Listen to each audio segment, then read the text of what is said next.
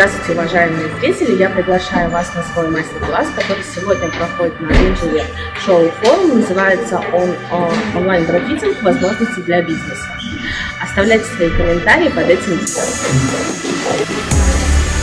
Друзья, у нас время мастер-класса. Те, кто отлично себя, сама я нет, но люблю. Мастер-класс называется «Онлайн-граффитинг. Новые возможности для бельевого бизнеса». Кто находится за пределами а, зал, приглашаю, присоединяйтесь, чаем с кофе, своими вопросами, со своим опытом. Ведет мастер-класс Татьяна Соколова, а, создатель бренда Ideal Forms, владелец франчайзинговой сети а, салонов профитинга, автор курсов по подбору белья «Сам себе профитер». Татьяна, слово. Вот, спасибо вам, очень приятно. А, всем доброе утро. Молодцы, что пришли. Я надеюсь, что я буду для вас сегодня полезна. У нас очень интересная тема, которая всегда вызывает бурю обсуждений, бурю противоречий. Я думаю, что она очень важная. Когда мне предложили выступать, я сразу задала организаторам вопрос, а, про что рассказывать. Потому что у меня очень много тем, которые я могу раскрыть, но мне хотелось, чтобы я была максимально полезна для тех, кто найдет возможность прийти на выставку. И был запрос на Тань, надо вот рассказать про что-то, вот как дальше вообще выживать, что делать, и, собственно говоря, вдруг нечто подобное когда-то повторится снова, да, и как быть к этому готовым. Я говорю, ну, отлично, хорошо, давай поговорим про онлайн. Потому что глупо сейчас отрицать, что онлайн-продажи, они растут, и они дальше будут расти. И если вы не переформатируетесь под онлайн-продажи, то вы ну, просто в какой-то момент э, времени закроетесь. Нравится это кому-то или нет, но это неизбежная реальность. Да? И статистика говорит о том, что онлайн-продажи, они увеличиваются. И здесь очень такой противоречивый момент, скажем так, потому что когда я начинала когда я, собственно говоря, запускала свой курс э, по э, онлайн-подбору да, и обучению, как вообще подбирать а, правильное белье, все говорили о том, что этому научить онлайн невозможно.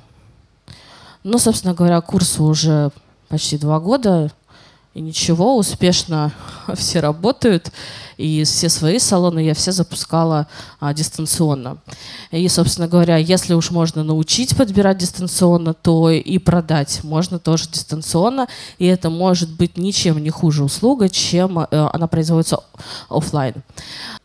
Вопросы мы раскроем такие, как граффитиру выйти в онлайн. Я не буду вам рассказывать про социальные сети и все в таком духе. Я э, хочу именно сконцентрироваться на моменте, как вы как граффитер, как вы будете обслуживать онлайн, да, как эта процедура будет происходить, как ее оказать э, удаленно качественно, так, чтобы это были минимальные потери. И какие это для вас возможности, и какие с этим есть риски. А, я сама живу и работаю в Санкт-Петербурге, но где-то 45% моих клиентов — это регионы. И когда я только начинала, в принципе, вообще а, подбирать белье, а, я всегда очень переживала, как я буду делать это удаленно.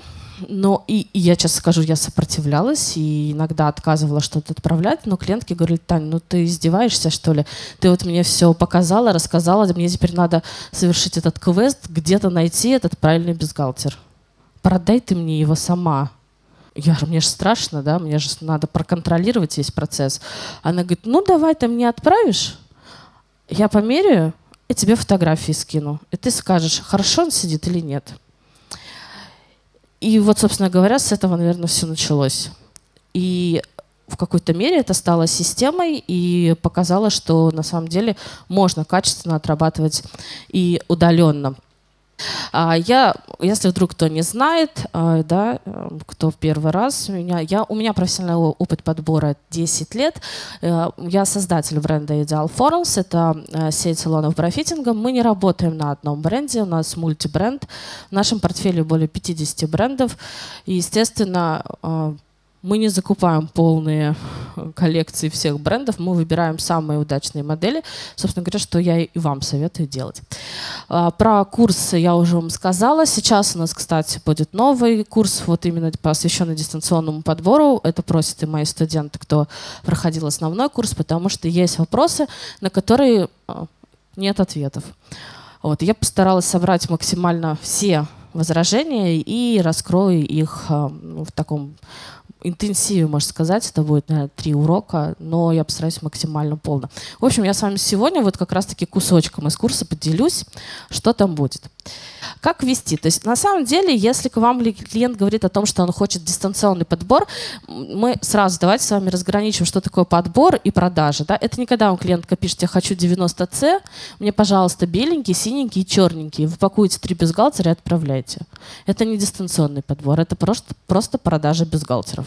Дистанционный подбор – это когда вы в прямом смысле удаленно работаете с клиентом. И на самом деле это высшая степень доверия к вам как профессионалу. Это значит, что вы смогли сформировать а, мнение у клиента, что вам можно себя доверить, потому что она ни разу вас в жизни не видела, но при этом она готова вам себя показать. Все же прекрасно понимают, что, что брафитинг — это интимная, можно сказать, услуга.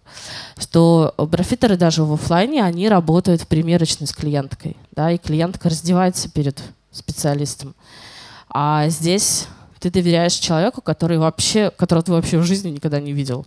И знаешь его только по там, социальным сетям, например.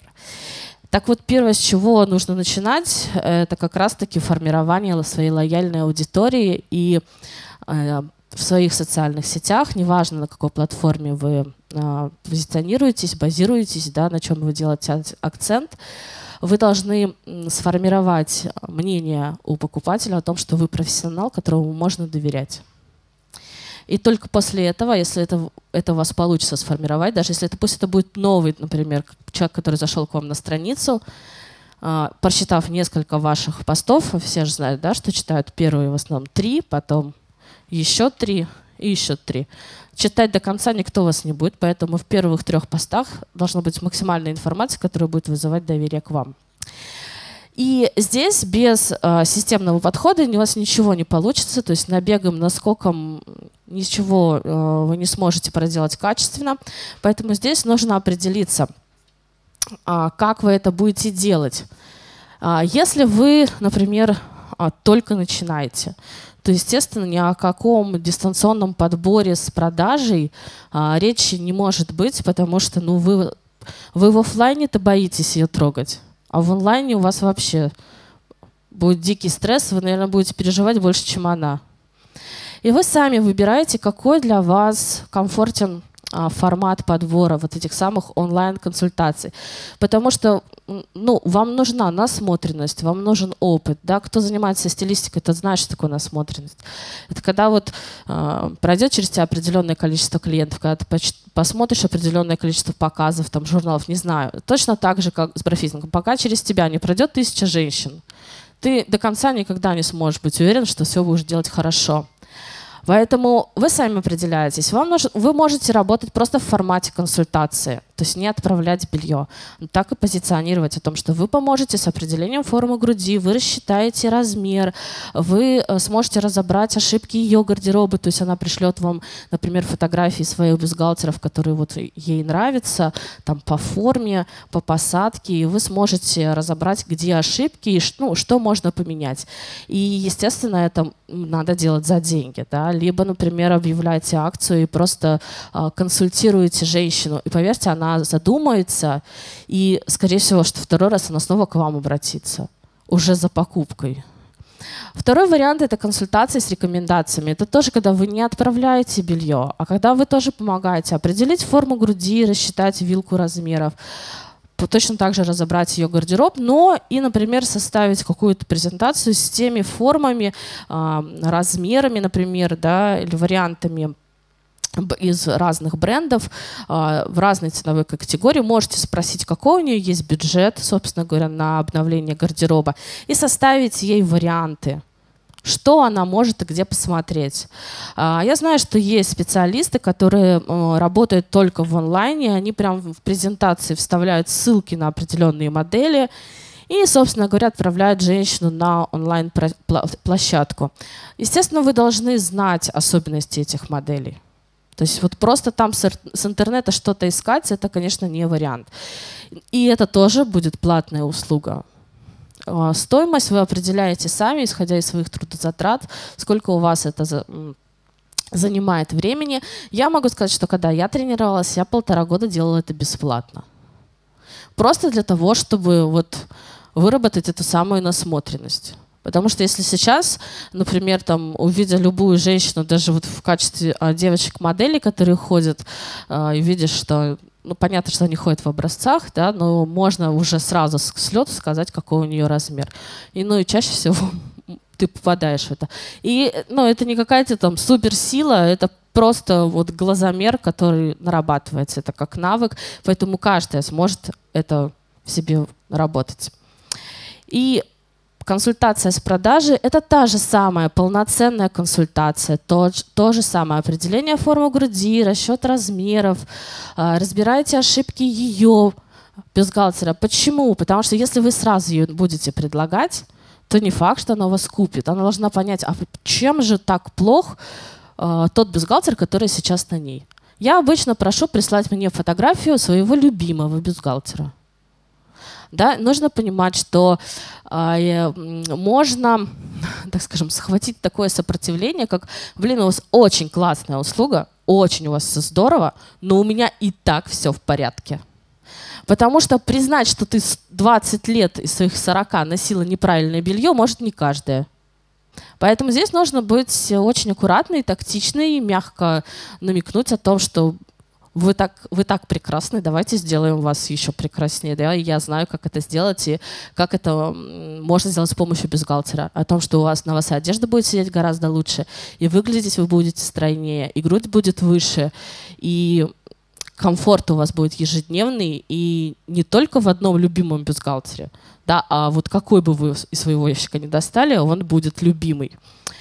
Поэтому это, конечно, высшая степень признания. И когда вы консультируете с продажей, то вы должны четко понимать, как э, будет проходить эта самая услуга. И когда вы отправляете белье, здесь на самом деле вы должны диктовать условия, как будет проходить эта услуга. Не клиент вам говорит, пришлите мне 15 штук, я померяю и выберу самый лучший. Нет, это так не работает. Здесь, помимо практики, да, которая у вас должна быть ежедневно. И я вообще рекомендую, если вы работаете в офлайне, у вас есть постоянные клиенты, которые ну, уже, например, не первый раз у вас что-то покупают, часто говорят, Тань, ну можно я не буду мерить, можно я вот просто вот сейчас приду, возьму и побегу. Нет, нельзя. Потому что мы все меняемся, да, женский организм, он цикличен. Мы за один месяц можем три раза похудеть, три раза поправиться.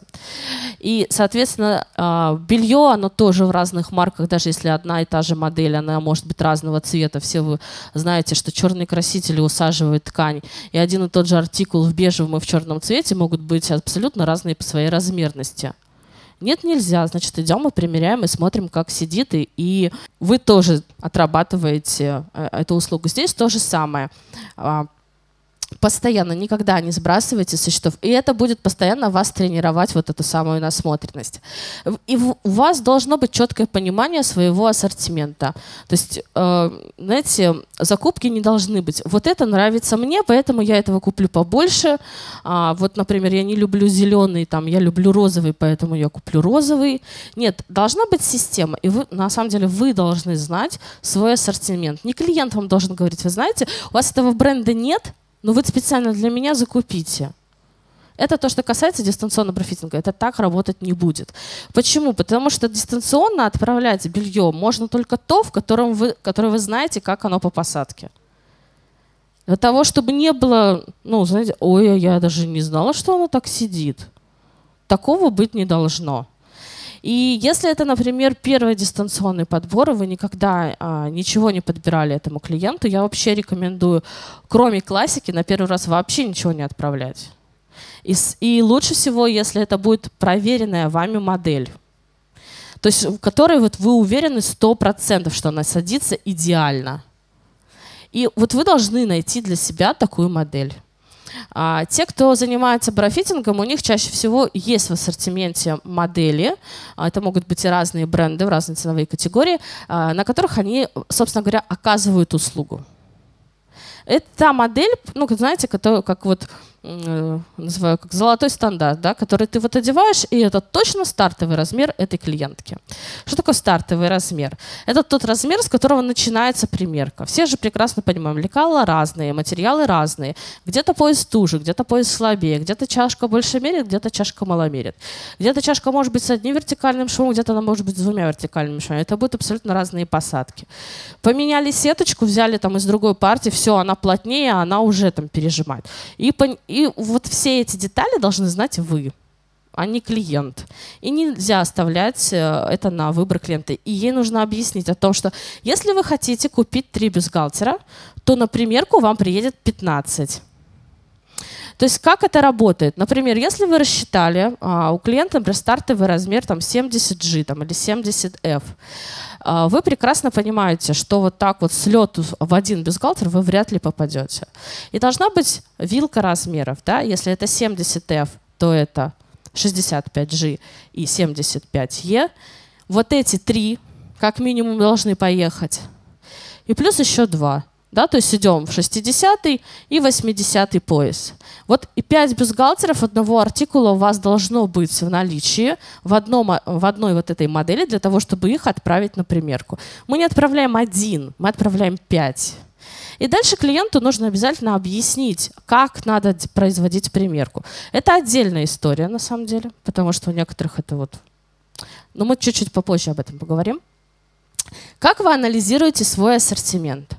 Вот просто возьмите, не знаю, где вы, если вы ведете товарный учет, возьмите, выгрузите всю свою ассортиментную матрицу. Разбейте ее, по, если вы этого не делали. Да? Например, у меня, когда запускается салон, он получает матрицу. Они разбиты по формам, по цветам, по размерам.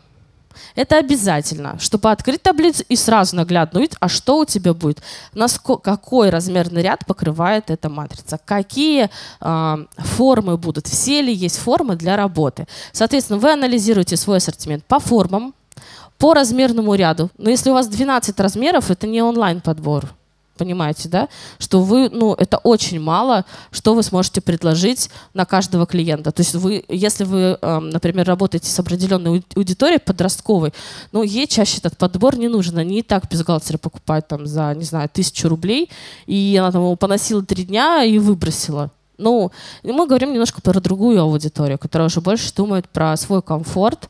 И там Естественно, ассортимент должен быть больше. По цветам. Ну, то есть у вас должна быть классика, да, бежевый это прям обязательно, нравится он кому-то, не нравится, но это тот цвет, на котором должна производиться примерка. Еще раз повторюсь, потому что черный цвет может маломерить. Потому что черные красители, темные, они усаживают ткань. И если вы подбирали на черном белье, а потом клиентка захочет бежевый, то он, он ей может быть просто большим.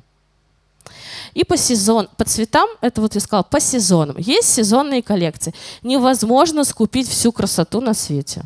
Невозможно. Ну, вот это нереально, никаких денег не хватит, и нет в этом никакого смысла. А по сезонам, ну, например, мы делаем таким образом. Мы смотрим, что и какие размеры у нас самые продаваемые. Это легко сделать, если у вас есть товарный учет. И когда вы формируете матрицу на сезон именно по моде, ориентируйтесь на те размеры, которые у вас лучше всего продаются. Не надо брать эти километровые ряды, которые вы потом будете там, через 5 месяцев сливать за 70% скидки. Зачем? Не надо. Если у вас есть э, ваша лояльная аудитория, если у вас есть VIP-клиенты, а, можно им прямым текстом предлагать э, предзаказы на моду и тем самым тестировать э, интерес клиентов. Да, а есть вообще спрос на вот то, что сейчас предлагают, или можно вообще не погружаться в это, вот выбрать там 3-4 коллекции для того, чтобы просто был и инфоповод, и была возможность что-то новенькое показать, и не заострять на вот этом внимание. То есть посмотрите, достаточно ли вот в той самой а, модели, которой вы будете производить подбор, та, которая будет такая пробная, и вы прям клиенту и говорите о том, что я сейчас отправить вам, например, ту моду, которую вы хотите, я не могу, потому что я сама не знаю, как она сидит. Но даже вот здесь мы ходим по выставке, в, большой, а, в большей степени висят образцы. То есть то, что будет в конечном итоге, не знает еще даже сам дистрибьютор. И вы не можете взять на себя эту ответственность и сказать, как будет сидеть каждая новая модель. Это невозможно. Соответственно, пока вы ее офлайн не потестите, онлайн вы ее нормально не продадите.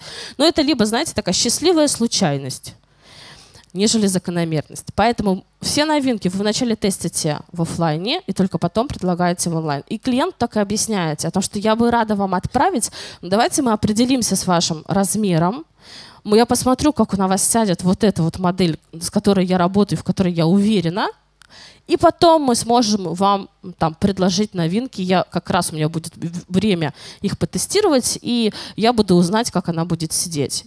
И вам, поверьте, клиент это оценит, адекватный клиент это оценит, она поймет, что это не потому, что такая вредина, и не хотите ее удовлетворить, а потому что вы заботитесь о ней, о ее времени, о ее кошельке, и вот знаете, представляете, это, это же жуткое разочарование, когда ты заплатил деньги, а белье тебе не подошло.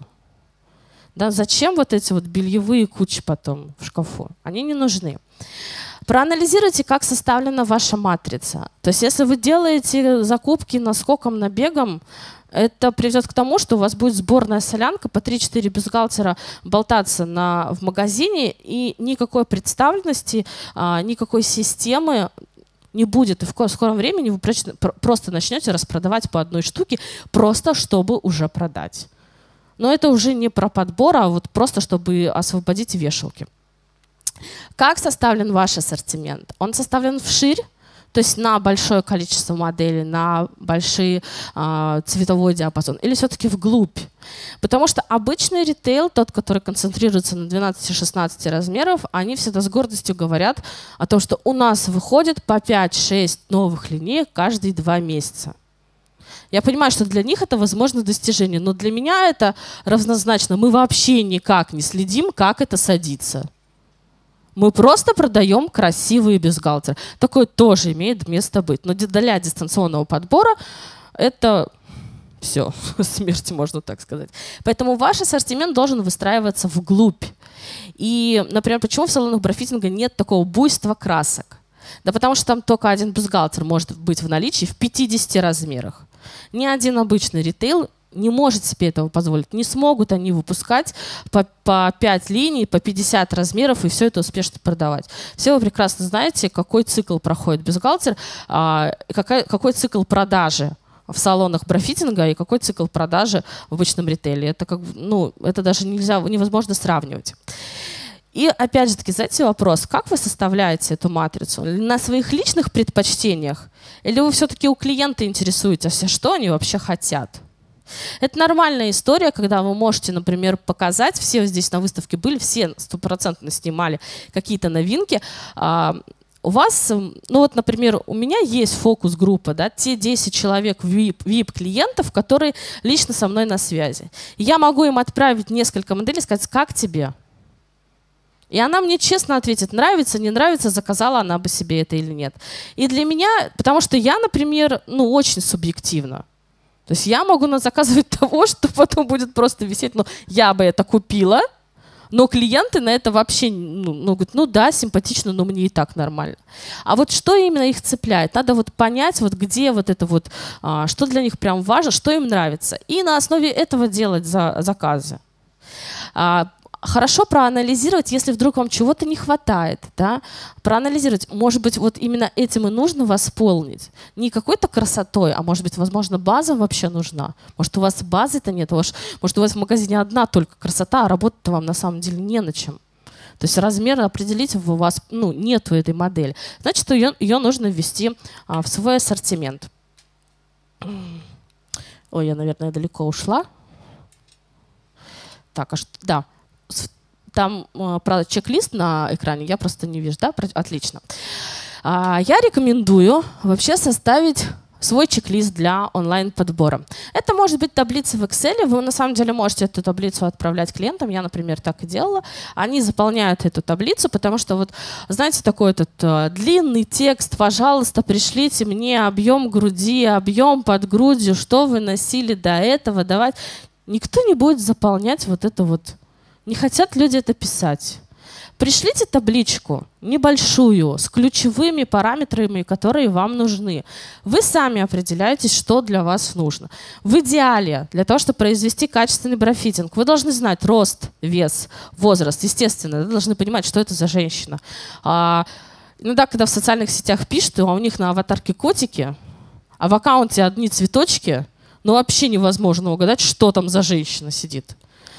И какая у нее цель покупки, что она хочет вообще, куда ей нужен этот бюстгальтер. Это база на каждый день или у нее какое-то мероприятие и есть уже определенное там, платье, наряд, под который она подбирает этот самый бюстгальтер.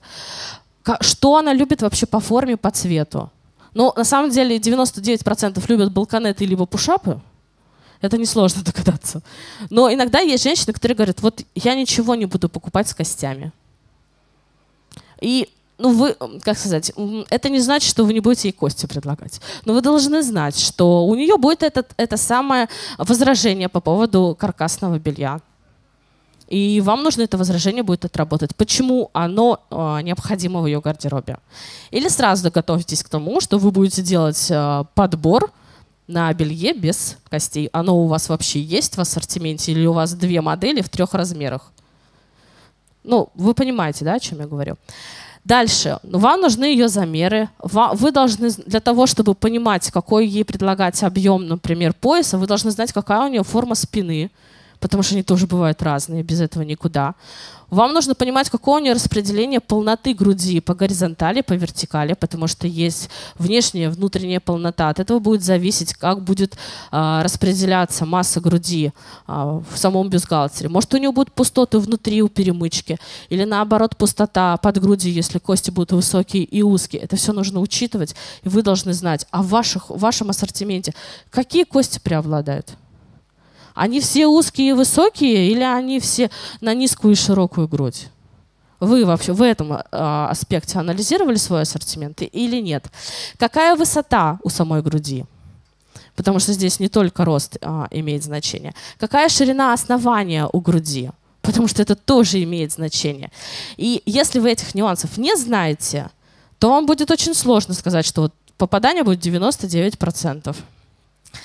И Соответственно, сразу предупреждаете клиентку, что вам нужны фотографии да, или видео. А, и здесь это очень интимный момент, кто скажет, а где гарантия, что вы эти фотографии а, не сольете потом куда-нибудь? Это такое может быть. И вот здесь все будет зависеть та степень доверия, которая к вам есть. Мне присылали, вот я могу сказать, мне присылают фотографии, но я не прошу лицо, мне нужна только грудь я прошу фотографию и в бюстгальтере, и сбоку, и со спины.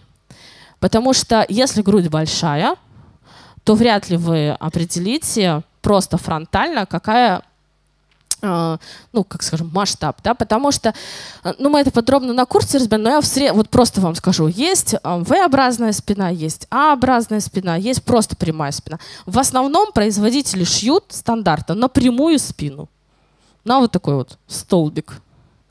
А посмотрите на спортсменок.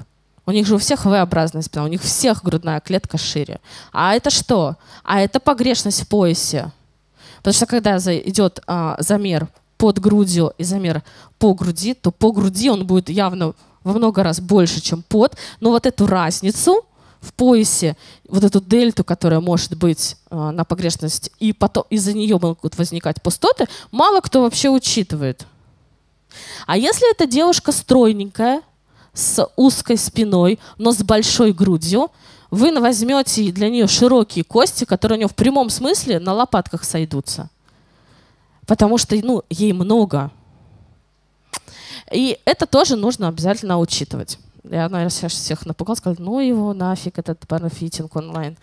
А, составьте инструкции, чтобы не мучиться, чтобы каждый раз не распинаться, чтобы каждый раз не писать клиенту а, одно и то же. Сделайте инструкции, как правильно снять мерки. Вот, наверное, это самое тоже сложное для многих. Столько видео снято. У всех брендов какая-то своя система. А, кто-то спрашивает, а как правильно, на бюстгальтер или без бюстгальтера а, снимать мерки? Ну, вообще здесь, конечно, все будет зависеть от того, какой масштаб груди. Если это девушка со средним размером груди, и она еще в прекрасном состоянии, пусть она снимает мерки по обнаженной груди. Если эта грудь уже кормящая женщина достаточно большая, и у нее уже есть птоз, то если она вам замерит по обнаженной груди, то вы на эти параметры никогда в жизни дистанционно ничего правильно не подберете, потому что у нее вся масса ушла вниз.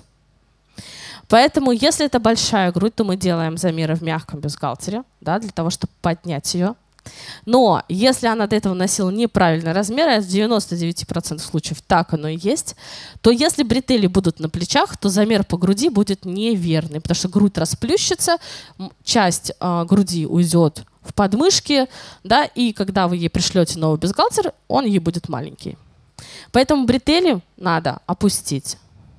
И сделать замер по чуть опущенной груди, чтобы она не лежала у нее на животе, но в то же время была поднята. И сделать этот самый замер.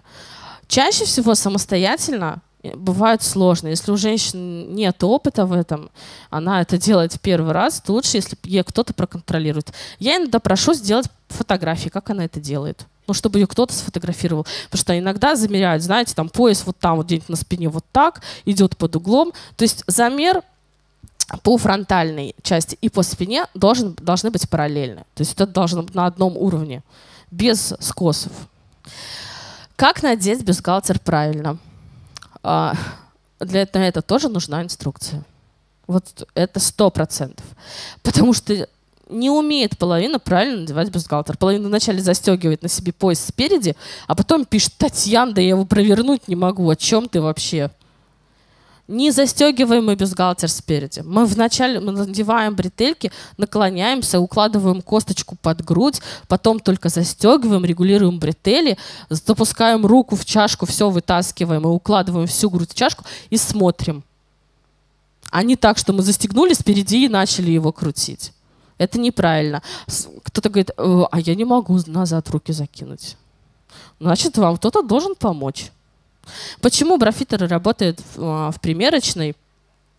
Для, просто для того, чтобы даже помочь, посмотреть, а, что все ну, сделано хорошо. Потому что в первый раз это может быть сложно. И, соответственно, если вы ей не расскажете, что ее ждет, скорее всего, что она вас ничего не купит. Она посмотрит, да боже, да я не могу это на себе даже застегнуть. Я обычно в таких а, случаях, ну, смотря какие бренды, да, если я знаю, что, например, у бренда тугой пояс, и в первый раз самостоятельно достаточно сложно, я всегда предлагаю удлинитель. Вы знаете, да, есть, а, вот, ну, кто-то их экспандерами называет, на два, на три крючка. Вот на первый раз, просто для того, чтобы хотя бы просто пояс застегнуть, а потом чашку уложить, посмотреть, как он смотрится, можно положить еще в заказ вот этот самый удлинитель. Это для бизнеса это мелочь, для клиента это может быть э, такой палочкой-выручалочкой, просто хотя бы даже примерить. И э, я прошу делать фотографии. Вот когда мы отправляем эти 5-6 размеров, она примерить должна все. Вы так ей говорите, меряем все. И смотрим, какой из этих размеров сел лучше всего. А, вариант того, что вы с первой попытки попадете, ну, сомнительный. Но есть шанс, что, э, например, она, ну, то есть она примеряет и, например, говорит, слушай, мне пояс сел отлично. Вот 70-й пояс в этой модели мне вот прям супер хорошо. Но вот, например, мы определили мне стартовый размер там 70F, ну, а чашка мне, например, маломерит. Вот мне, значит, что? Раз она маломерит, значит, ей надо что, 70G? Все, становится понятно. Или наоборот, а, например, по чашке вроде бы все хорошо, но она говорит, ну вот, а поезд как-то мне либо слишком туго, либо, например, ну как-то свободно. Значит, уменьшаем пояс, да, но, соответственно, вы же знаете, что а, если ты пояс уменьшаешь, то чашку надо увеличивать. Если ты пояс увеличиваешь, то чашку ты должен уменьшить, потому что наполняемость зависит от пояса, потому что на самом деле в подборе а, чашка второстепенно, первостепенен пояс. И первое, с чего нужно подбир... начинать подбор, это с определения правильного пояса, потому что на него ложится а, вся нагрузка по поддержке груди. И это самое важное. И дальше у вас должна быть инструкция, как определить правильность посадки. То есть те самые контрольные точки, которые клиентка должна сама на себе проверить и сказать о том, что блин, все, села, классно, все отлично. Грудь, я руки поднимаю, грудь не выпрыгивает. Края чашки из-под одежды не выделяется. Четвертая грудь у меня сверху не наплывает. С бретельками у меня все хорошо. Пояс мне комфортен. А, я его чувствую в первый раз, да, потому что пояс в первый раз чувствовать необходимо. Это как раз-таки признак того, а, что он выполняет свою функцию. Когда спрашивают, есть такой частый вопрос, Таня, у меня бюстгальтер оставляет следы на теле. Носки у вас тоже на теле следы оставляют. И это нормально. В этом нет ничего страшного. Это не должны быть какие-то кровавые следы или синяки, но признак того, что на вас надета эластичная вещь, это нормально. Сейчас, кстати, а, очень много всяких технологичных разработок, и разные бренды предлагают а, бюстгальтеры, которые не оставляют следов на теле.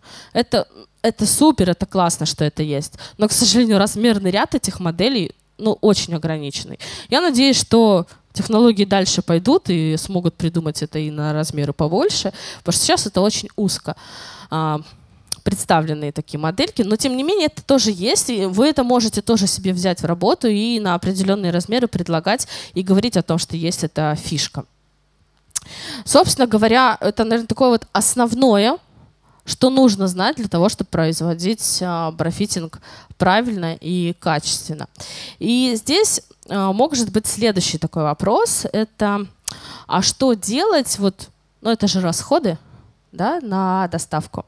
Здесь, естественно, вы а, определяете, как вы это будете делать. Будет ли у вас бесплатная доставка? Или же, например, а, если вы переживаете, то это вы можете ездить сами. У меня был период времени, когда я год ездила на примерки сама. Для меня был страшный сон доверить эти 15 бюстгальтеров курьеру, чтобы он вот этот вот мешок привез клиентке, она это все вот так вот сказала, о боже мой, с чего тут начинать. Я приезжала сама и контролировал. Мне было важно, чтобы все было э, сделано верно. И только потом я стала отправлять э, с курьерами. То есть этот этап вы тоже должны пройти. Это, вы от этого никуда не денетесь. Но вы для себя определите, как вы будете работать. Если вы работаете с курьерами, подумайте, у вас будет платная или бесплатная доставка. А, я, например, делала таким образом. Если клиентка совершает покупку, то я денег за доставку не беру. Если она покупку не совершает, и я, естественно, ей об этом озвучиваю, то она оплачивает выезд курьера. Это абсолютно нормальная практика. В этом нет ничего страшного. А, самые, наверное, такие а, страшные возражения это что делать с Валберис. Да? Когда там можно все заказать, хоть 45 штук тебе привезут, ты померяешь и можешь ни за что вообще не платить. А, в Wildberries е нет брафитинга. А, в Wildberries е нет рекомендаций по моделям. А, консультации, консультанты Wildberries вообще, по-моему, нет, да? Они вам никогда не расскажут, большемерит, маломерит эта чашка, что вообще там происходит. Я, а, у меня был момент, когда я тоже отрабатывала примерочный для Wildberries а. Ну, то есть они приходили ко мне, мерили, говорили спасибо, я пошла, там куплю, там распродажа. А на этот случай я вам рекомендую ввести оплату за услугу. Потому что, ну, вы оплачиваете аренду, вы тратите свое время. Если у вас наемные сотрудники, вы оплачиваете им зарплату. Вот. И это сразу отбивает желающих вас просто так поюзать. А если будет клиент, который ценит то, что вы даете, он оплатит вам услугу, даже если ничего не купит. И самое удивительное, что когда я ввела оплату за услугу, на нее стали записываться прямо отдельно, просто на услугу. И когда и когда женщина понимает, что она, в принципе, может на стоимость услуги купить бюстгальтер, который вы ей примеряли, она чаще всего купит у вас бюстгальтер, чем просто там заплатит полторы, а, две тысячи там, или две с половиной, каждый определяет для себя сам, сколько это будет стоить. Она лучше купит это самое белье, которое вот сейчас здесь подобрано, потому что вы же все прекрасно знаете, что женщины покупают на эмоциях да, как эмоции срабатывают. Это если она видит, например, какую-то красивую картинку, я думаю, у каждой есть туфли, которые куплены а, и в которых удобно только сидеть. Такие есть у всех, даже у меня. Тут не долж... Такого не должно быть с бюстгальтером. что она купила просто потому, что ей понравился, как он красиво э, висит на вешалке. Ну что она его потом? В рамочку под стекло и на стену, что ли? Нет, конечно, носи, носить его надо. А она, например, не может его носить, потому что он, он красивый, но дико неудобный. И, соответственно, конечно, когда женщина видит а, себя, то это стопроцентная продажа. Если она себе в нем понравилась, она чаще всего они в нем и уходят. Говорит, вот этот выбросьте, выбрасывайте, я в этом так и пойду. А иногда бывает такое, это часто срабатывает с теми, кто только начинает подбирать белье, они вот так смотрят, например, на базу бежевую. Это чаще всего вот я этот бабушкин бюстгальтер в 50 размерах, покупать не буду. Никто у меня его не купит. Это частое сопротивление у меня у партнеров. Татьяна, зачем вы мне положили вот это вот, вот, вот на то, что смотреть невозможно? Оно же еще мягкое, бесформенное, на вешалке висит. А если это еще какой-нибудь 70к, это вот такой вот пояс, вот такая вот чашка. Боже мой, такие женщины, что есть в природе. Я говорю, слушайте, давайте вот просто вы начнете работать, и тогда все будет э, хорошо. Вы увидите, что на самом деле даже этот бежевый бюстгальтер, потому что на самом деле красота не в бюстгальтере, а в женщине, которая его примеряет. И ваша задача на самом деле продать ей саму себя в этом белье, а не само это белье.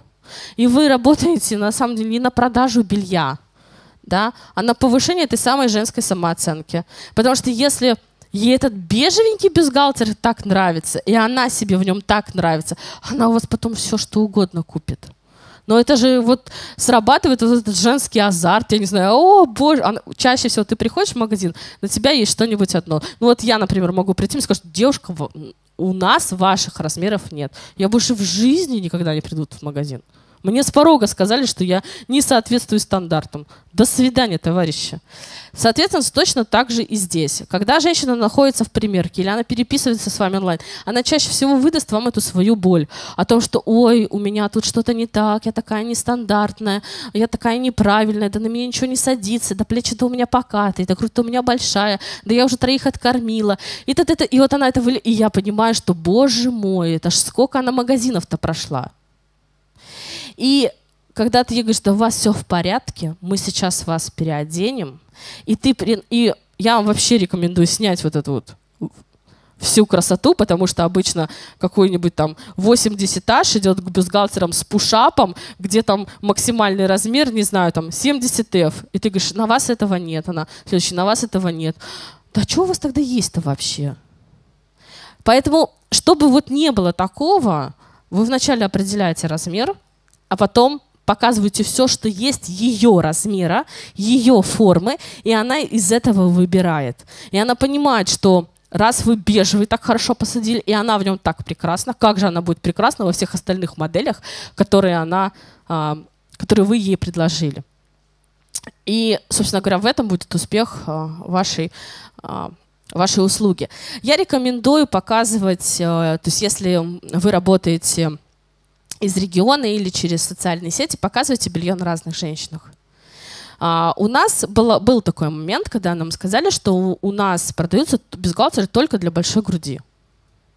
Хотя я могу сказать, что наш самый продаваемый размер по сети это 70F. Ну, как бы эта девушка 46 размера. Ну, это никак не 56. Да? Ну, в моем понимании 46 это еще небольшой размер. Поэтому э, смотрите за вашим контентом, за тем, что вы а, показываете, рассказываете. Если вы свою экспертность а, продаете в аккаунте, то не делайте это только статьями про один лишь брофитинг. Как подобрать, как измерить. Нет. А, делайте акцент на своем ассортименте. Рассказывайте, чем, э, почему у вас такой портфель брендов, почему вы выбрали эти бренды, чем они вам как эксперту нравятся, какая у них особенность, какие боли, какие проблемы они закрывают. И именно это и продает, потому что вы никогда не знаете, что будет триггером. А триггером чаще всего бывает боль. Говорить о том, что, ой, это будет, это красивый бюстгальтер из натуральных тканей, там, не знаю, с ручной вышивкой, да плевать ей на это вообще. Надо сказать о том, что ты, у тебя грудь будет высокая, декольте будет красивое, ты будешь выглядеть на 5 килограмм меньше. Вы про нее говорите, а не, а, не про бюстгальтер. И говорите глаголами это всегда побуждает э, к действию. У нас с вами еще 15 минут. а, давайте мы с вами пообщаемся, потому что я думаю, вопросы а, есть у всех. А, кто-нибудь нам, а, Наталья, да, вот тут, вы мне нужны, я вас просто не вижу. А, если у вас вопросы, чтобы к вам подошли и дали микрофончик, я бы ответила на ваш вопрос. Учитывая, что я занимаюсь граффитингом, и в своем салоне я работаю с девушками, сажаю непосредственно руками примерочной. У меня вопрос про онлайн-посадку. Как я должна работать с этим моментом, учитывая, что это такой действительно самый сложный момент в онлайн-бракете. Как этот бюстгальтер посадить самой женщине для себя так, как это сделано? Хороший вопрос, спасибо. А, ну, опять же таки, здесь вам вот инструкции в помощь да, чем они будут у вас более подробными, но в то же время простыми. Потому что все-таки профитинг — это не высшая математика, мы тут не ракеты в космос запускаем. Вот. Не так сложно объяснить, что кости должны сидеть под э, складкой груди, а, что э, надо собрать всю грудь в чашку и распределить ее. Да, вот, кстати, у нас подошла Наталья. А, распределить ее по чашке, да, так, чтобы не оставалось пустот. А самое, знаете, что еще бывает основное, когда люди а, женщина, примеряя а, бюстгальтер, не регулирует бретели. Это, вот на это надо особенно обращать тоже внимание, потому что от бретелек очень много зависит. И если они не отрегулированы, то вряд ли будет хорошая посадка. Поэтому напишите инструкции, а, просите а, фото, видео для того, чтобы проконтролировать и сказать, если вы увидели где-то пустоты, да, спросите, а бретельки вы отрегулировали, а вы достаточно а, хорошо собрали грудь, особенно сбоку, вот отсюда с района подмышки. Все ли вы сложили в чашку без калтера? Еще? Если еще кого-нибудь? Подождите, сейчас давайте микрофон, чтобы все слышали. Угу. То, то есть поближе к микрофону, к этому, Дим, сделал погромче. Да, теперь давайте. То есть О. это должна быть видеоинструкция? Лучше да. Либо, если это инструкция в там, формате, например, какого-то документа, то с фотографиями. В идеале так. И знаете, э, здесь можно еще тоже разделить, если, например, девушка а, стройная вам ну, делает запрос, и а на фотографиях у вас будет а, плюсовка, то, скорее всего, что ей это не зайдет и наоборот. Поэтому здесь такой очень тонкий момент. Лучше и так, и так сделать. Потому что это разные целевые аудитории. Еще вопросы? Руки поднимайте, только девчонки. Так, недалеко, пожалуйста. Татьяна, вы говорите, э, вам клиентки присылают фотографии. А что делать, если запрашиваешь э, размеры объемов и клиент сливается? А, это очень хороший тоже вопрос, потому что, а, знаете, есть женщины, у которых в доме нет сантиметровой ленты. И они иногда думают, о боже, это мне надо сейчас еще дойти в магазин за сантиметром, что ли? А кто-то говорит, а можно я себя рулеткой замерю? А, ну, разные бывают. Это абсолютно нормально. Я, на самом деле, я рекомендую здесь выключить функцию Бога и перестать э, додумывать за клиента. И если она вам не отвечает в течение дня, напомнить ей себе. Спросить, ну, у вас есть какая-то сложность? Ну, выяснить, что у нее действительно сантиметра дома нет.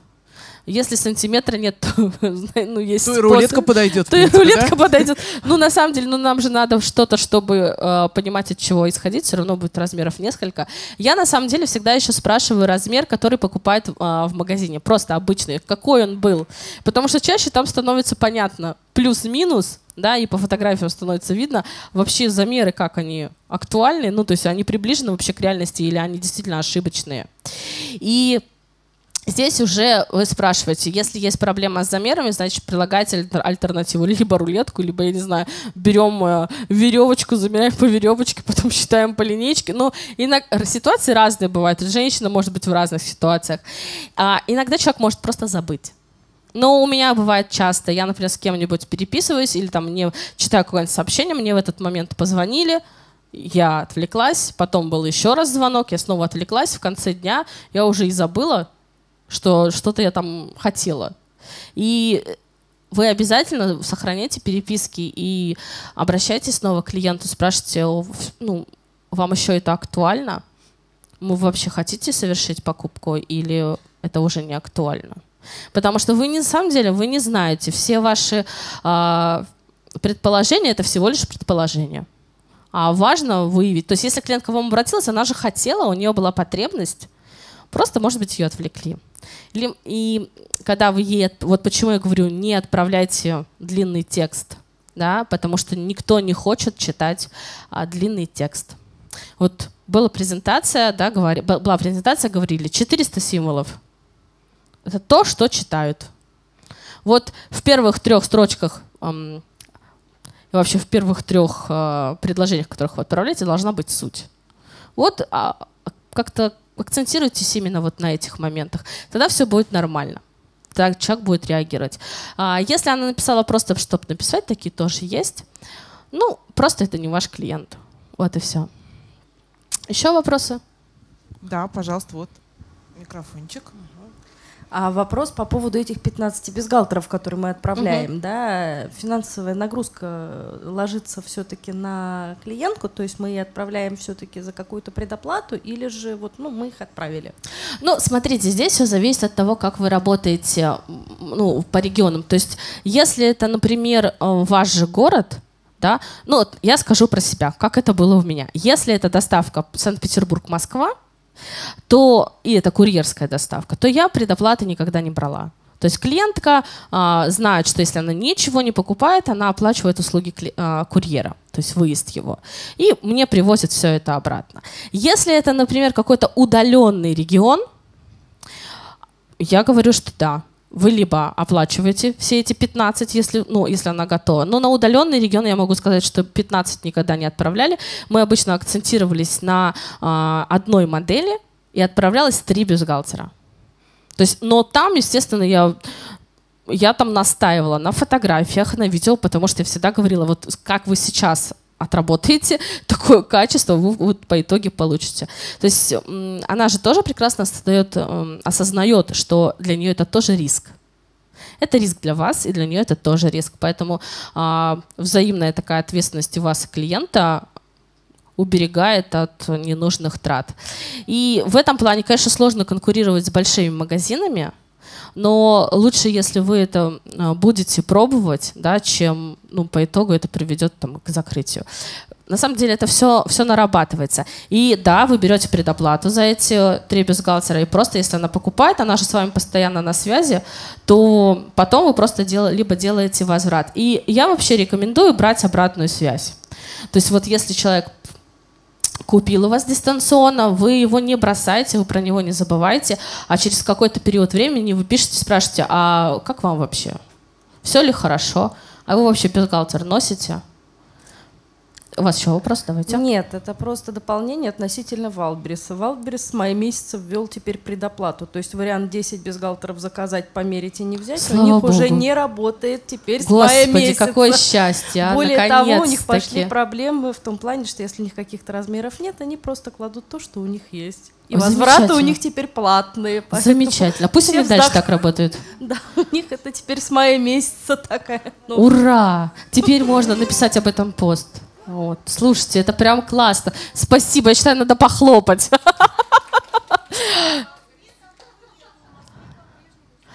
Ну, нет, я уже слышал, вот мои подружки говорят, что нет, платно, что надо, заказали 15, надо все платить. Аллилуйя. Что-то есть вам сказать? Слава Богу. Нет?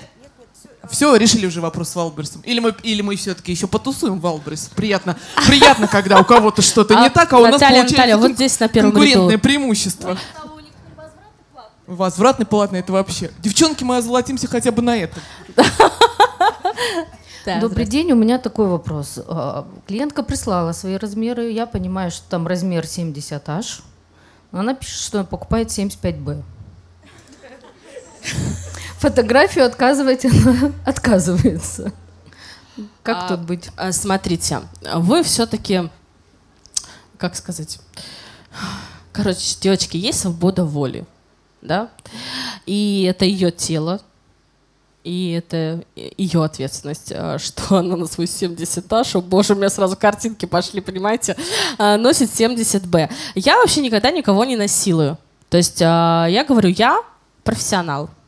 Я знаю, что вам это будет лучше, чем то, что вы носите сейчас. Я, я сейчас не об этом, ага. я о том, что я не понимаю, что даже выслать. А что высылать? Да. Так, так и высылайте, что вы сказали. Вы ей скажете, я отправила вам на примерку. Я, например, когда даже в офлайне, вы думаете, они в, в офлайне, что ли, не, не говорят о том, ну, что говорят, они говорят? Говорят. И э, она спрашивает, а что вы сейчас на меня меряете? Я говорю, ну, бюстгальтер. Размер не скажу. Ну, я говорю, не не спорю. А, это нормально. Ну, а здесь еще, знаете, здесь есть моменты вот э, авторитета вашего. Можете, ну, я знаю, есть клиентки, которые, знаете, своим авторитетом кого угодно задавят. А, как вы себя здесь поставите? Вот я иногда настаиваю. Я говорю, давайте вот, сделайте это, пожалуйста, для меня. Вот мы сейчас это померим, я посмотрю, если мне это не понравится, я увижу, что фу-фу, а потом померим то, что предлагаете вы. Ну, например, у меня 70 бывает даже в ассортименте нет. Да, к сожалению, я даже не смогу вам этого отправить. Но я вам предлагаю вот такие-такие варианты. И я, ну, я, честно, иногда беру на себя эти расходы, но здесь надо смотреть, адекватный человек вам вообще пишет, потому что некоторые же специально это делают. То есть есть клиенты, которые даже предзаказы оставляют для того, чтобы потом не выкупать. Ну вот я вообще рекомендую вводить там систему, например, предоплат за предзаказ. Это сразу а, отсекает клиентов, которые, у которых есть намерение вас кинуть. Ну, что уж там говорить, есть такое, знаете, да, сделал гадость, сердцу радость, есть кто по этому принципу живет, Поэтому да. Но вы отправляете то, что вы считаете нужным. То есть, если она вам не отправляет фотографии, вы так и говорите, я могу вам отправить то, что вы меня просите, но я за качество посадки ответственности не несу. То есть, если вы мне говорите, что вы меня слушать не хотите, и вы знаете лучше, чем я, окей, я сделаю так, как вы хотите вы, но это будет ваша ответственность. И, соответственно, вы платите за все, что к вам едет, да, и возврата вы можете не принимать. Ну, здесь надо тоже, это очень тонко. А, вы прекрасно знаете, что дистанционные продажи а, есть а, срок возврата 3 дня, если белье не было в использовании, ну, купленное при дистанционной продаже. То есть она может вам его вернуть. Да, понятно, но курьерские услуги, доставку оплачивает клиент, а не вы. И это абсолютно нормально. Это, ну, вы же не можете только за одни прогоны постоянно платить. Поэтому здесь вы просто сделайте, как хочет она. Это же ее выбор. Вы же со своей стороны все сделали правильно, вы же хотели как лучше, вы отработали. Здесь же еще есть такой момент вот, э, про этапы продаж. Да, нужно выводить клиента на отработку этих самых э, возражений. То есть установление контакта, выявление потребностей, самая презентация, отработка возражений, там, закрытие сделки. Все стандартно. В онлайне все то же самое. Просто она, когда вот это что-то пишет, это ее незакрытые возражения. Ну, иногда бывает еще такое, я что, 40 лет ношу белье, что, не знаю, какой у меня размер, что ли. Ну, такое тоже есть. 80 це прекрасно. 80 це. А еще я 80 G вам положу. Да, сейчас расскажу, как его померить. Померите, пожалуйста, и фотографию мне пришлите. И она такая, ну, хорошо, ладно. Но когда вы ей можете объяснить, что не так, потому что такое тоже есть. Иногда, знаете, специалист начинает, а у вас бюстгальтер неправильный. Все, у нее сразу защита срабатывает. В смысле у меня неправильный бюстгальтер? Я что, 20 лет неправильное белье ношу? Я же такая умная, там, доктор наук. И сижу в неправильном белье. А это чаще всего так и есть. Не знаю, ответила на ваш вопрос? Благодарю. Да? Спасибо. Ну что, у нас еще одна минута. Есть еще вопросы или нет? Больше вопросов нет? Я вас по... Есть? Вот микрофончик там. Ага. Давайте. У меня вопросик по корректирующему белью. Скажите, пожалуйста, Татьяна, легче это проходит? У меня не было опыта по онлайн-подбору корректирующего белья. Или это сложнее, чем онлайн-брафитинг? Это проще. А, это гораздо проще.